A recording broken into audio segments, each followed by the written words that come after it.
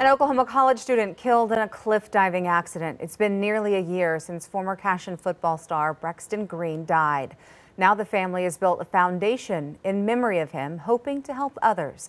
News 4's Hunter Elise talked with Brexton's mom and his best friend. They show us a new way they're raising money and how you can be a part of it. Hunter. Adria, July 2nd will mark one year since Brexton Green died while cliff diving. And I spoke with Brexton Green's mom and best friend who say their memories of him and the legacy he left behind are what carry them each day. Well, there's nothing worse in this world than losing your son or a child. In the year that has followed the tragic passing of Brexton Green, his family and friends never lose sight of the hope he's leaving behind. I mean, right afterwards, you just have two of his friends that made professions of faith and got baptized right afterwards because of the impact that Brexton had. Brexton's family creating the BG10 Memorial Foundation in honor of Brexton's number. The goal?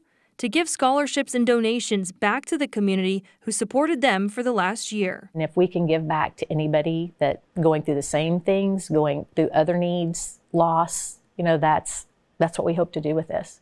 So I just think our hope for the foundation is that we can impact as many people like Brexton did and just, most of all, just be there for people because he always was there for all of his friends no matter what. Now, Brexton's family is hosting a concert to raise money for the foundation. Cam Allen will be opening and then we've got um, Jay Allen, who was on The Voice. A lot of people have seen him before. And then his wife, Kylie, will be the final artist. A year later, the pain and loss are still there.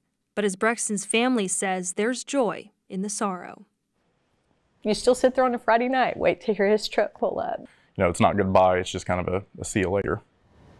The concert they're hosting is tonight at the Rustic Rose Barn in Guthrie. First set kicks off at around 7.30. The concert is set to end around 11.30. For more details on how you can attend or learn more about Brexton's Foundation, visit kfor.com.